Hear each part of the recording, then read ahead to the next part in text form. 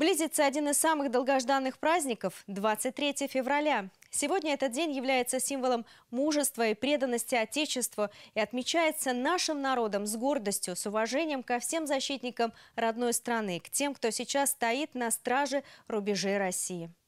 В канун этого праздника телеканал «Тверской проспект» подготовил уникальный проект. Защитникам Отечества посвящается, подростки читают стихи современных авторов. Возрастное ограничение 12+. Для этих детей участие в проекте в первую очередь выражение благодарности ветеранам, великому поколению, научившему нас, их потомков, побеждать и не сдаваться.